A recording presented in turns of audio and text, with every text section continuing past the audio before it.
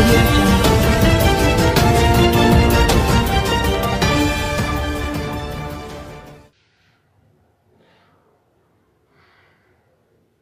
నమస్తే అండి వాయిస్ ఓకేనా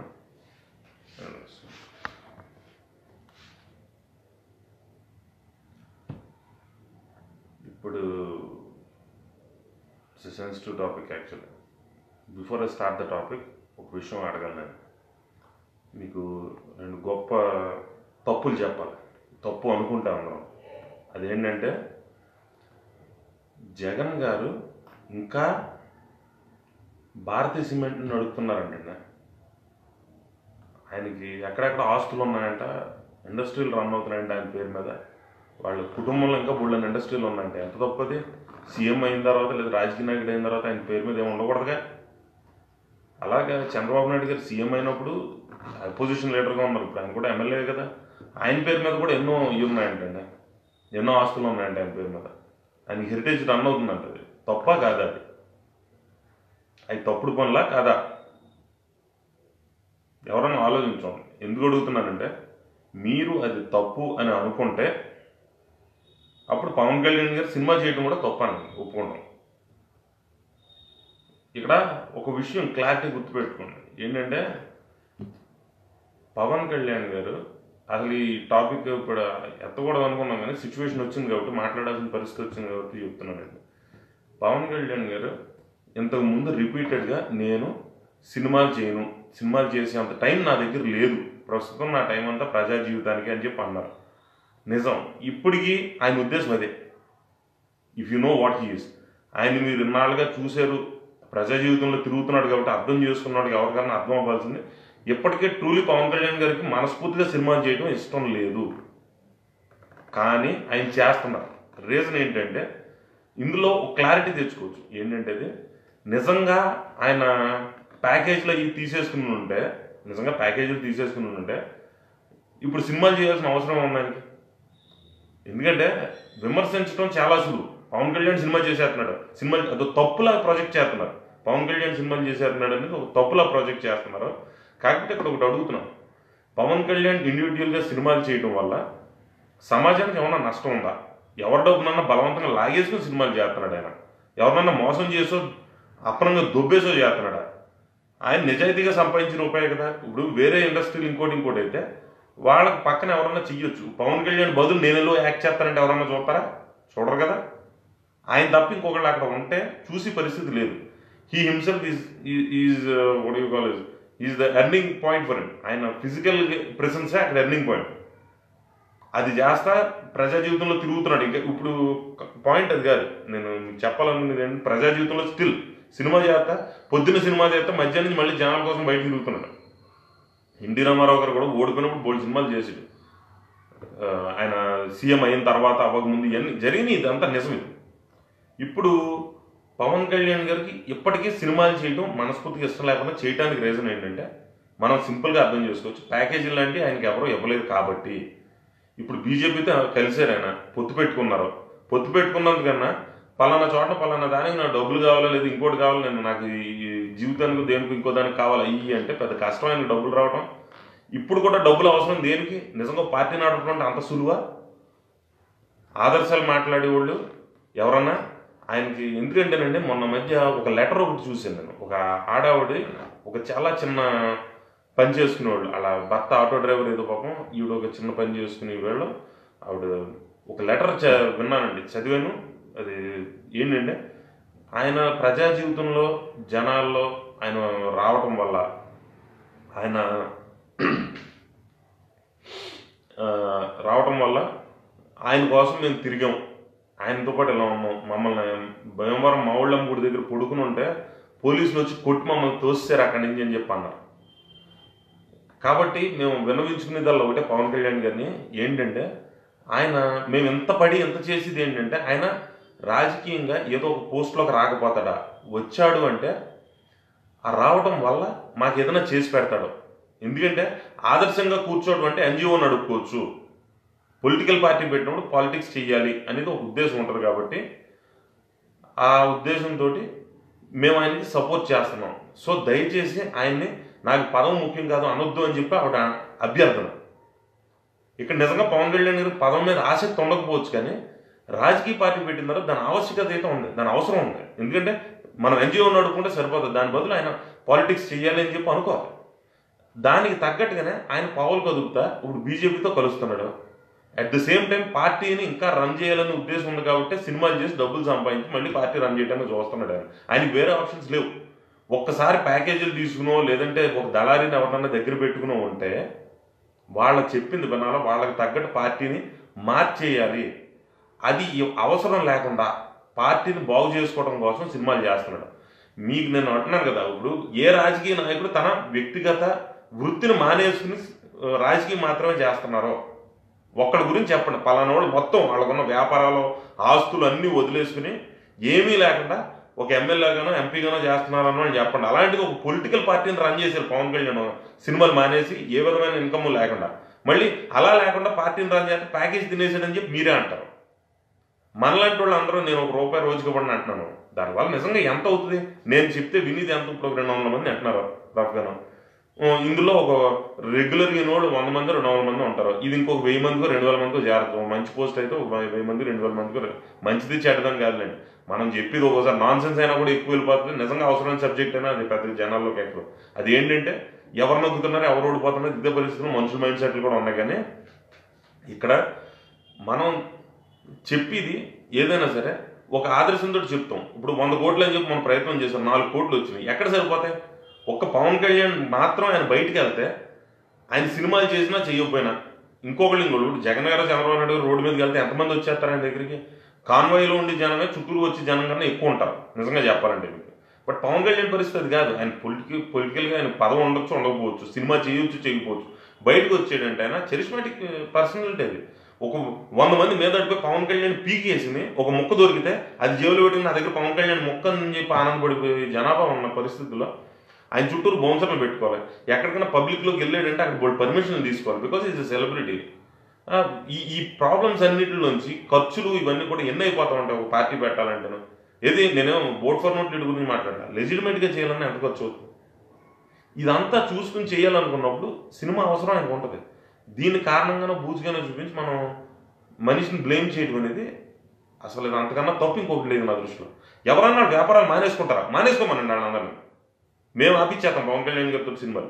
నేను ఈ రోజు మాట చెప్తున్నాను ఆయన లెటర్ రిలీజ్ చేసినప్పుడు అంతకు ముందు తర్వాత కూడా నేను ఏ మేము మా మా ఊర్లో జరిగిన మీటింగ్లో కూడా తాడేపల్లిగూడెంలో జరిగిన మీటింగ్లో కూడా నాగబాబు గారు అక్కడ కూర్చున్నప్పుడు అన్న మాటలు అయ్యాము ఏంటంటే ఆయన ఎందుకు సినిమాలు మానేది? ఆయన మాట మాకైతే పర్సనల్గా ఇష్టం లేదు. ఆ రోజు నుంచి అన్న మాట అదే ఎందుకంటే ఎందుకు మానేయాలి ఎవరి వ్యాపారం ఎవరు వదిలేసుకుంటారు? ఈయన ఎందుకు మానేయాలి ఈయన చేసేది ఉన్న తప్ప? దోషమా? ఎవరికైనా అన్యాయం చేస్తున్నాడా? ఎవరికైనా బలవంతంగా లాగేసుకుంటున్నాడా? వాళ్ళు మాట తెప్పం మడం తెప్పం ఇంకేదో తెప్పం అని చెప్పి వాళ్ళు అందరూ కూడా వీళ్ళు ఏం చేస్తున్నారు?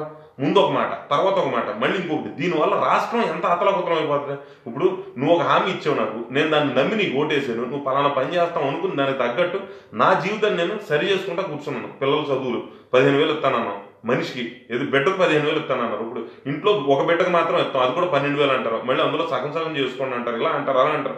మీరు ఇస్తానన్న దాని మీద హామీతో ఆ పదిహేను వేలకి నేను లెక్క వేసుకుని నా నా ఇంటి బడ్జెట్ నేను వేసుకుంటాను. నువ్వు ఇవ్వకపోతే నేను ఏం చేయాలి దానివల్ల రాష్ట్రానికి నష్టం ఉంటుంది అది మానేసి పవన్ కళ్యాణ్ సినిమా చేయడం వల్ల దాన్ని ఎకిలి మాట మాట్లాడి ఒక హాస్యంగానో లేదంటే దాన్ని బిగులుగానో ఆలోచిస్తున్నారు కదా మీ మా మానసిక స్థితి ఎక్కడికి వెళ్ళిపోతుంది మనుషులది? ఏం ఆలోచిస్తున్నారు మీరు? సినిమా చేయడం తప్ప. నిజంగా అతను ఇప్పటికీ చేయడం ఇష్టం లేకుండానే ఉన్నాడు. మాట్లాడుకుంటే. కాబట్టి కదా లెటర్ రిలీజ్ చేశాడు. లెటర్ రిలీజ్ చేసిన రోజున ఆయన మానసిక స్థితి ఇప్పటికీ కూడా ఆయన సినిమా చేయడం ఇష్టం లేదు కానీ డబ్బుల కోసం అవసరం. ఎందుకంటే మీరు అన్న ఆ ప్యాకేజీలో ఆయనకి ఎక్కడ ఇవ్వాల? వచ్చిన బాధ అదే. ప్యాకేజీ ప్యాకేజీ అని ఎడుతున్నారు కానీ ఆ ప్యాకేజ్ ఎక్కడ దొరకలేదు ఆ మనిషికి. ఇవ్వలేదు ఎవరు. అలాంటిది ఏదన్నా ఆయన అన్నుంటే ఇప్పుడు సినిమాలు చేయాల్సిన అవసరం ఉంది ఆయనకి? పోనీ సినిమా చేయటం వల్ల మేము వెళ్ళిపోతాం అని ఎవరన్నా అంటే ఇంతకుముందు అనుకోండి ఇంతకుముందు కూడా ఏదో కారణం పెట్టి వెళ్ళిపోయాడు మీరు ఎవరన్నా గట్టిగా ఒక కోటి రూపాయల పార్టీకి ఫండ్ ఇవ్వగలరా? పోనీ పొలిటికల్ పార్టీ నడపడం అంత సులువా? ఏం ఆలోచిస్తున్నారు దీన్ని హాస్యం చేస్తున్నారండి. మీరు ఎవరైనా మీ వ్యాపారాలు మానేసిన ఫేస్బుక్లో కూర్చుంటారా? నేను నా పని మానేసిన ఫేస్బుక్లో కూర్చుంటా మీరు మీ పనులు మానేసిన ఫేస్బుక్లో కూర్చుని రాజకీయాలు చేస్తారా? ఏం మాట్లాడుతున్నారు ఎవరన్నా? అది తప్పు అంటాం? అది కరెక్ట్ కాదు అండ్ ఇన్ కేస్ ఇప్పుడు ఒక లెటర్ గురించి మాట్లాడుకున్నాం కదా if it is true so what ఇంతకు ముందు రెండు మూడు పార్టీలు మారదాం అనుకుని అటు ఇటుగా ఆలోచించుకుంటే ఇక్కడికి వచ్చారు. ఆయన ఇంతకుముందు చేసిన పనులు ఆయనకు ఉన్నాయి. ఆ లెటర్ ఎవరిదైతే వచ్చిందో వాళ్ళ గురించి నేను చెప్తున్నాను లెట్ ఇట్ బి మనం దాని గురించి ఎక్కువగా రియాక్ట్ అవ్వద్దు. వంద మంది వస్తూ ఉంటారు వెళ్తూ ఉంటారు. వాళ్ళ ఆలోచన విధానం వాళ్ళదే. వాళ్ళ ఉద్దేశం వాళ్ళదే. ఈ ఒకసారి ఎలక్షన్ అయిన తర్వాత కూడా ఇన్నాళ్ళు ఆయన ఏమి పార్టీతో పెద్ద యాక్టివ్గా మనతో పాటు కలిసి చేసింది ఏం లేదు. ఆయన సొంత పనులు ఆయన చేసుకుని వెళ్ళిపోతున్నారు. అదే అంటే ఎగ్జాక్ట్ మోహన్ అదొక సిల్లీ రీజన్ లాగా కనిపిస్తుంది తప్ప అది అంత ఆలోచనాపరమైన వ్యక్తి అలాంటి ఒక కారణం చెప్పాడంటే వెళ్ళిపోతానికి ఏదో కారణం ఎదుర్కొన్నాడు వెళ్ళిపోయినామండి ఇంక మనం ఏం మాట్లాడతాం? అంత పెద్ద వ్యక్తి మనం అనివాళ్ళు కూడా కదా మన స్థాయి సరిపోదు ఆయన ఎందుకంటే ఎక్కడ ఆయన గౌరవం ఉంది కాబట్టి. సో అది లైట్ తీసుకుంటే అది పెద్ద విషయం లేదు. అలాంటి మనిషి మనం ఓ తప్పుగా ఎవరు ఏం మాట్లాడద్దు. పెద్ద ఆలోచించదు దీని గురించి ఏం అనుకోవద్దు పెద్ద విషయం ఏం లేదు ఇది. ఎంతోమంది వచ్చారు ఎంతో మంది వెళ్ళిపోయారు. ఇప్పుడు వీళ్ళందరూ ఉండటం వల్ల ఏం బాగుపడిపోయిన పార్టీ చెప్పండి నాకు. వీళ్ళు వెళ్ళిపోతాం వల్ల కొత్తగా వచ్చేసి నష్టం ఏంటి? సో పెద్దగా పట్టించుకోవాల్సిన పని ఏం లేదు మనకి. కాకపోతే ఏంటంటే ఆ కారణాన్ని దీనికి సమాధానం చెప్పాల్సిన అవసరం ఉంది కాబట్టి చెప్తున్నాను అంతే. ఇప్పుడు వరకు చెప్పిందంతా కూడా ఒక సిల్లీ రీజన్ చూపెడితే దానికి రీజన్ ఇస్తున్నాను. దానికి ఒక జవాబు చెప్తున్నాం తప్ప ఇది పెద్ద విషయం కాదు దీన్ని పెద్ద పట్టించుకోవాల్సి పట్టించేసుకోవాల్సినంత ఇది కాదు. అదే ఎగ్జాక్ట్లీ ఇది. ఎప్పటి నుంచో ఎక్స్పెక్టెడ్ ఎప్పటి నుంచో వాళ్ళ తర్వాత ఏళ్ళ ఏళ్ళ అనుకున్నాం ఈ రోజు అయ్యింది అది అంతే. అది మనకున్న ఒక ఎమ్మెల్యే గారు ఆయన వెళ్ళిపోతానన్నా మనం దాని గురించి ఓ పెద్ద ఫీల్ అవ్వదు ఎందుకంటే మనంత మనం పంపించేస్తే ఆయన చేతిలో పదం ఉండిపోయేలా పంపించాలి. ఆయన అంతా ఆయన వెళ్ళిపోతే పదం వదులుకుని వెళ్ళాలి. పదం వదులుకుని వెళ్తారా? వెళ్ళరు. దాని గురించి ఆడ వాళ్ళ ఇది ఆడుకుంటుంది మనం పట్టించుకోవద్దు నేను అదే అంటున్నాను. ఏదన్నా అవనం ఒక స్టాండ్ తీసుకున్నప్పుడు మనం ఆ స్టాండ్కి నిలబడిపోదాం. ఈయన మాట మార్చారు అది ఇది అని అంటే ఇంతకుముందు ఒక లైఫ్ టైం మొత్తం నేను పార్టీతో ఉంటానన్నట్టు ఆయన మాట్లాడిన మాటలు రికార్డు లేదు ఎంతసేపు రెండు నిమిషాలు వస్తాయి. అలాంటి అదే అంటాను ఇదంతా పట్టుకుని దీని గురించి ఓ సీరియస్గా పట్టేసుకుని చేసేసుకుని మీరేం చేయదు ఈ ఇప్పుడు కొత్తగా అదే అంటాను వీళ్ళ వల్ల మనకు వచ్చేసిన ఉపయోగం పెద్ద బెనిఫిట్ అని కాదు. వీళ్ళు వెళ్ళిపోవడం వల్ల ఇప్పుడు కొత్తగా వచ్చేసిన నష్టం లేదు. సో దీన్ని పట్టించుకోదు రాజకీయాన్ని రాజకీయంగా పవన్ కళ్యాణ్ గారు చేస్తున్నాం అది మనం చూస్తున్నాం. లాస్ట్ టైం ఒక ఎక్స్పెరిమెంట్ లాగా నిజాయితీగా నిబద్ధతగానే ఉన్నారు. అలాగే చేశారు. ఇప్పటికీ నిజాయితీగానే ఉన్నాడు ఆయన అందులో అనుమానం అయితే లేదు. అయితే ఎన్జిఓలా కాదు. నేను కేవలం ఆదర్శం మాత్రమే మాట్లాడను. నిజాయితీగా ఉంటాను కానీ వ్యూహం వ్యూహంలాగా చేస్తాను లేదా రాజకీయం రాజకీయంలో చేస్తాను అంటాడు ఆయన అతి బలవంతమైన ఇండియాలో one of the biggest and strongest party in fact world one of the strongest party BJP ఇప్పుడు. అలాంటి ఒక పార్టీతోటి అలయన్స్ పెట్టుకున్నారు ఆయన. పొత్తు. మళ్ళీ పొత్తుకి విలీనానికి తేడా తెలని పిచ్చోళ్ళు చాలామంది ఉన్నారు. వాళ్ళ గురించి చెప్తున్నాను. పొత్తు విలీనం కాదు. ఇది కూడా మీకు తెలవకపోతే దయచేసి రాజకీయంలో మీరు ఏదో మీరు ఏదో చేసేస్తాం లేదా రాజకీయ విశ్లేషణలో అలాంటి మేధావ మాటలు ముదురు మాటలు మాట్లాడదు పొత్తుకి విలీనానికి తేడా తెలవడం కోసం చెప్తున్నాను. ఒక పొత్తు పెట్టుకున్నారు. పొత్తు ఎవరితోటైనా ఎవరైనా పెట్టుకుంటారు. మీ పార్టీలన్నీ అంతర్గతంగానో బయట ఏదో విధంగా అందరితో అందరూ పొత్తులు పెట్టుకున్నాడు. కాబట్టి అది పెద్ద సీరియస్గా తీసుకోవద్దు. ఇదేమో అయిపోతుంది కదా? ఎందుకు అవుతుందండి మైనస్ ఇది ఒక నాలుగు రోజులు ఐదు రోజులు ఆలోచిస్తాం ఐదు రోజుల తర్వాత అందరూ మర్చిపోయేదే. ఎంతమంది వెళ్ళిపోతలేదు. ఇది మన పార్టీ అని మీరు అనుకుంటున్నారు. ఇంతకుముందు వైఎస్ఆర్సీపీలోంచి రెండు వేల పద్నాలుగు ఎలక్షన్స్ తర్వాత ఎంతమంది వెళ్ళిపోలేదు? అధికారంలో ఉన్న ఇరవై మూడు మంది ఎమ్మెల్యేలు వెళ్ళిపోయారు వాళ్ళ దాంట్లో వచ్చి ఏం చేయగలిగారు ఏమైపోయింది? ఏమీ అవ్వలేదు. ఏమీ ఇవ్వలేదు వాళ్ళు ఇప్పుడు అధికారంలోకి రాలేదా? అందులో ఎంతమంది తెలుగుదేశంలో మా మారిపోయిన వాళ్ళు ఉన్నారు? ఇప్పుడు తెలుగుదేశం నుంచి వైఎస్ఆర్సీపీలో గెలిపే వాళ్ళు ఎటు ఉన్నారు నీళ్ళున్న చోట కప్పలేదని సహజం. అది ఏ పార్టీలో ఎప్పుడన్నా ఇదంతా జరిగేదే తరతరాలుగా జరుగుతుంది ఇది ఇవాళ కొత్తగా మనం ఇప్పుడు ఫస్ట్ టైం చూడటం కాదు. లెట్ ఇట్ హ్యాపెన్ అంతే. ఇంకొకటి ఏంటంటే మనకి ఇప్పుడు కొత్తగా ఊడిపోయేది ఏమీ లేదు దాని గురించి పెద్దగా ఓ ఫీల్ అయిపోద్ది ఎవరు. బీ క్లియర్ అబౌట్ అంతే తప్పించి దీని గురించి ఇప్పుడు విమర్శలు చేసేసి అలాంటి పనులు మాత్రం చెయ్యొద్దు. ఎందుకంటే ఎంత కాదనుకున్నా మనతో కొన్నాళ్ళు ప్రయాణం చేశాడు ఆయన ఆయన ఒక హుందాయిన వ్యక్తి. కాబట్టి ఆయన గురించి మనం తక్కువగా మాట్లాడద్దు కించపరిచిలా మాట్లాడద్దు పిచ్చి పిచ్చి పోస్టులు ఎవరో పెట్టద్దు. ఇక్కడ ఇది వదిలేయండి అంతే. ఇది పెద్ద విషయం కదా. దీనివల్ల మనం మనం రాజకీయం రాజకీయంలో మాట్లాడుకుంటే దీనివల్ల మనకి ఎలాంటి నష్టం లేదు. కొత్తగా మనకు వచ్చేసి నష్టం ఊడిపోయేది ఏమీ లేదు. ఇంతకుముందు కలిసి వచ్చేసింది ఏం లేదు కదా దీనివల్ల? ఈయన కొన్ని ఎప్పుడైనా మీటింగ్లో కూడా ముభావంగానే ఉంటారు. ఏదో ఒక పార్టీ మీటింగ్ ఎప్పుడైనా అటెండ్ అవ్వడం నేను పూర్తిగా చూడలేదు. ఇన్వైట్ చేయాలి చేయకపోవడం కాదండి. పలానా చోట మీటింగ్ ఉందన్నప్పుడు వాళ్ళకి తెలవకుండా ఉంటుందని నేను అనుకోను. ఒకరికొకరు చెప్పుకుని మన పార్టీ అనుకున్నాను మనకు మనం కలిపి చేసుకోవాలి. నా ఇది నాదే అనుకుంటే సరే మీ ఇందులో మీరు చేసుకుంటారు. ఎవరు ఇదిలో చేసుకుంటారు ఏమో ఇందులో పెద్ద సీరియస్గా తీసుకోవద్దు ఇది. కాకపోతే ఎవరో కూడా దుర్భాషలు మాట్లాడద్దు. దుర్భాషలు మాట్లాడదు జనసైనికులు ఎవరో కూడా అలా మాట్లాడతారని నేను అనుకోను. ఎందుకంటే ఆ మాత్రం విజ్ఞత మనకు వచ్చింది. ఎంతో దుర్మార్గంగా మాట్లాడిన వాళ్ళనే చూసి చూడనట్టు వదిలేసాం సో ఇది పెద్ద విషయం ఏం కాదు కాబట్టి దీని గురించి జనసైనికులు అయితే అనుకోరు కానీ పెయిడ్ ఆర్టిస్టులు ఎవరన్నా జనసేన పేరు మీద ఇలాంటి ఎదవ పనులు చేస్తే వాళ్ళని అడ్డుకట్టేసేయండి అంతే. ఎందుకంటే పార్టీని కించిపరిచేలాగా చేద్దాం లేదా పార్టీని డ్యామేజ్ చేద్దాం అనుకున్న వాళ్ళు వెళ్ళిపోయే వాళ్ళని విమర్శించారు తప్ప నిజంగా పార్టీకి బెనిఫిట్ చేసే వాళ్ళు ఎవరు కూడా అలాంటి పనులు చేయరు. సో దీని గురించి పెద్దగా పట్టించుకోవద్దు పెద్దగా ఆలోచించొద్దు. అండ్ ఎవరన్నా అడిగితే ఇంకోటి చెప్తున్నా నేను ఇది క్లియర్గా రికార్డెడ్గా చెప్తున్నాను ఒక విషయం. ఇంతకు ముందు నేను ఒక పోస్ట్ పెట్టాను. ఎప్పుడు లాంగ్ బ్యాక్ ఎప్పుడంటే ఎలక్షన్స్ అయిపోయిన కొన్నాళ్ళకి ఒక రెండు మూడు నెలల తర్వాత రిజల్ట్స్ వచ్చిన ఒక రెండో నెల మూడో నెలలోనే పెట్టాను. గవర్నమెంట్ ఫార్మ్ రెండో నెల మోడీ తాతయ్య గారి హయాంలో ఈవీఎంలు ఎవరు కా ఎవరి వైపు కావాలంటే వాళ్ళ వైపు ముగ్గు చూపుకొని ఎవరికి కావాలంటే వాళ్ళకి చేస్తూనే ఉన్నాయి దానికి ఎవరు ఇప్పుడు మళ్ళీ అది డిక్ చేసి పొత్తు తర్వాత ఇప్పుడు ఏమంటావు రాజా? ఈ మాటకు నువ్వు ఏం చెప్తావు అని అడిగారు. ఇప్పటికీ నేను అదే మాట మీద స్టిక్ అయి ఉంటాను. మీరు మిమ్మల్ని ఈవీఎం కరుణించిందని ఒప్పుకుంటారా? నేను అన్నమాట మిమ్మల్ని ఈవీఎం కరుణించింది అంటున్నాను. అవును మమ్మల్ని ఈవీఎం కరుణించిందని మీరు అంటారా? మిమ్మల్ని కరుణించిందని మీరు ఒప్పుకుంటే నేను అన్నమాటగా నేను ఇప్పటికీ స్టిక్ అనే ఉన్నాను. మిమ్మల్ని ఈవీఎం కరుణించిందని నేను అంటున్నాను. మీరు నిజమని ఒప్పుకుంటారు అది మీరు ఒప్పుకుంటే రేపు మిమ్మల్ని ఈ రోజు కరుణించిన ఈవీఎం మేము రేపు మమ్మల్ని కరుణించకపోద్దా అంతే కదా? ఈరోజు మిమ్మల్ని ఈవీఎం కరుణించిందంటే రేపు మమ్మల్ని అదే ఈవీఎం కరుణించకపోద్దా మిమ్మల్ని కరుణించిందని మీరు ఒప్పుకుంటారా? చెప్పండి. అందు అందుకని ఎవరి దాడి జాగ్రత్తగా దాచుకోండి. ఎవరి ఒపీనియన్స్ వాళ్ళ దగ్గర జాగ్రత్తగా దాచుకోండి. తెలివితేటలు ఎక్కువ వాడద్దు అందరం. అనవసరమైన తెలివితేటలు అక్కర్లేదు. అక్కడికి ఏదో మీరు అందరూ పతివ్రతలైనట్టు నీతిగా బయటకు వచ్చేసి నిజాయితీగా ఎలక్షన్స్లో నిలబడిపోయి స్వచ్ఛందంగా మీరు వచ్చేసినట్టు. మాకు పది లక్షల ఓట్లు రూపాయి ఖర్చు పెట్టకుండానే వచ్చినాయి మాకు. అవి నిజంగా మాకు అంతకన్నా ఎక్కువ ఓట్లు వచ్చినాయి అని నా ఉద్దేశం. ఈవీఎం ట్యాంపరింగ్ జరిగింది అనేది నా అనుమానం. అనుమానం. నాకు అది అనుమానం ఉంది. ఎందుకంటే నా దగ్గర వ్యాలిడ్ ప్రూఫ్ లేదు కాబట్టి. మీరు అది నిజం అని మీరు ఒప్పుకోండి. అప్పుడు మాకు కూడా ఈవీఎంలు కరుణిస్తాయని మేము ఒప్పుకుంటాం. మిమ్మల్ని ఈవీఎం కరుణించింది మీరు ఒప్పుకుంటే మమ్మల్ని కరుణించిందని మేము ఒప్పుకుంటాం. అర్థం కదా? కాబట్టి keep your opinion with you దాన్ని జాగ్రత్తగా వెట్ ఇట్ కుడిటెన్ సార్ అంతే. సరిపోతుంది.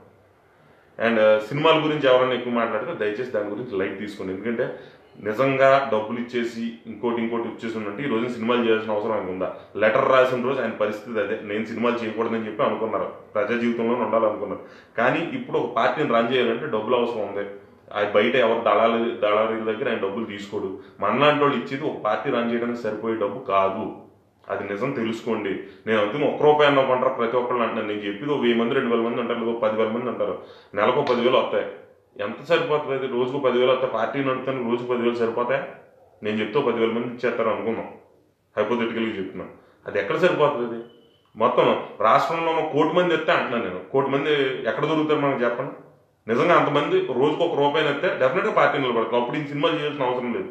నెలకు ముప్పై కోట్లు మనం అందరం కలిపి పార్టీకి ఇవ్వగలిగితే ఆయన సినిమాలు చేయాల్సిన అవసరం లేదు. ఆ పని చేయగలమా YSRCP TDP sixty forty batch మిమ్మల్ని కూడా నేను రిక్వెస్ట్ చేస్తాను. మనకంటూ పార్టీ నిలబడదు. ఎక్కువ పార్టీలు ఉంటే మనకే బెనిఫిట్ కాబట్టి మీ వల్ల అయితే మీరు కూడా ఒక రూపాయి పార్టీ సాయం చేయండి మా పార్టీకి. మీకు ఎక్కువ పార్టీలు ఉండడం వల్ల మీకు కూడా బెనిఫిట్ కదా. యాజ్ ప్రజ మనం అందరం సామాన్యులు ప్రజలు common man the mango people Aam Aadmi. మన అందరికీ కూడా ఉపయోగం ఉపయోగపడదు. ఒక పార్టీ నిలబడతాం అందరం కలిపి రూపాయి ఇస్తారు మీరు ఎవరన్నా పార్టీకి? మరి సినిమాలు చేయొద్దని అడిగే హక్కు మీకు ఎక్కడుందా పార్టీ పార్టీకి ఏమో అయినా పార్టీ పని చేసేది దాన్ని తిట్టుకో మీకు అట్లీస్ట్ తిట్టుకోవడానికి ఉన్న పార్టీ కావాలి కదా. సిక్స్టీ ఫార్టీ బ్యాచ్ని అడుగుతున్నాను నేను. సిక్స్టీ ఫార్టీలు వైఎస్ఆర్సీపీ టీడీపీ. ఇప్పుడు మీరిద్దరే ఒకటి కదా. రాష్ట్రంలో జనసేన బీజేపీ ఒకటి అయితే వైఎస్ఆర్సీపీ టీడీపీ ఒకటి ప్రస్తుతం.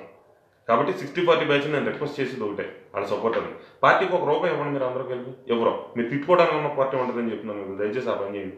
అది చేసి పార్టీకి ఒక నెలకు ముప్పై కోట్లు వచ్చేలా ఉంటే పవన్ కళ్యాణ్ ఆటోమేటిక్గా సినిమాలు మానేస్తాడు ఇంకా రాజకీయం ఇష్టం సినిమాల కన్నా. ఆ పని చేద్దాం. సరేనా? సినిమాల గురించి అది పట్టించుకోదు. ఈయన ఏమైనా మాట్లాడారో చెందారంటే వాళ్ళ వల్ల మనకు కొత్తగా వచ్చి ఉపయోగం కానీ నష్టం కానీ ఏం లేదు.